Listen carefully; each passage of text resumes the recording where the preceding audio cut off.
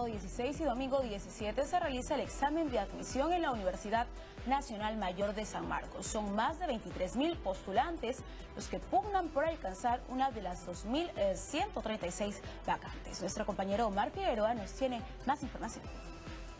El día de hoy se realiza el examen de admisión 2018-1 a la Universidad Nacional Mayor de San Marcos. Lo que estamos apreciando son eh, los postulantes, varones y mujeres, que el día de hoy han llegado desde muy temprano para ingresar eh, hasta esta casa de estudios. Las puertas 3 y 4 son eh, los accesos por donde van a ingresar casi 23 mil postulantes este año van a realizar este examen de admisión para 2.100 vacantes.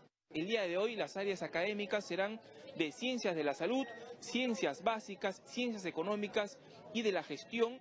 Y el día de mañana 11.750 postulantes lo harán en las áreas académicas de ingeniería, humanidades y ciencias jurídicas y sociales. El número de postulantes por áreas académicas, vamos a comentarle que ingeniería es el que tiene eh, mayor número de jóvenes que van a postular, cerca de 6.835 postulantes, seguido de Ciencias de la Salud con 5.464. Las medidas de seguridad, como lo estamos apreciando, son eh, rigurosas, cada uno tiene que tener eh, la cédula y el carnet con el cual podrá ingresar. Vamos a conversar justamente con el rector, el señor Orestes Cachay. ¿Por qué se ha decidido que el día de hoy se tome a casi la mitad y mañana también a la otra mitad? Bueno, por la disponibilidad de los espacios dentro de la ciudad universitaria, son 21.910 postulantes que no caberían en un solo día. Entonces los hemos separado ciencias mm, básicas para el día de mañana, con ciencias de ingeniería para el día de mañana que suman también 11.200 postulantes.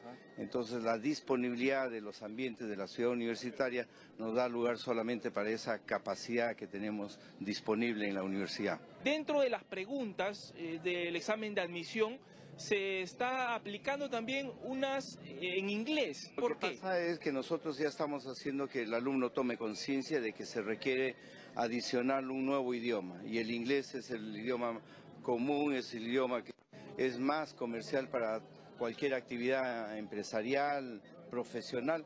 ¿Qué medidas de seguridad se está tomando en cuenta en esta oportunidad para que no se realice suplantaciones o alguna irregularidad? Primero tenemos un control físico de que no lleven ningún artefacto eléctrico, no lleven eh, cámaras, que no tengan ningún instrumento digital. Y el segundo es que el control de ingreso a las aulas es con la huella digital. RENIEC identifica a los postulantes que de acuerdo a su inscripción en el DNI sea lo más correcto, ¿no? En esa forma damos la seguridad de que no existan suplantaciones. Antes de, retirarnos, vemos aquí un, un niño prácticamente que va a postular. Hola, ¿cómo estás? ¿Cómo te llamas? Rey Víctor. ¿Cuántos años tienes? 11. 11 años. 11 años. ¿Y vas a postular y a dónde vas a postular? Sí. ¿A qué carrera? Matemática. Matemática. Bien, felicitaciones. ¿Estás preparado? Sí. Aquí las puertas 3 y 4 de la Universidad Nacional Mayor de San Marcos están abiertas.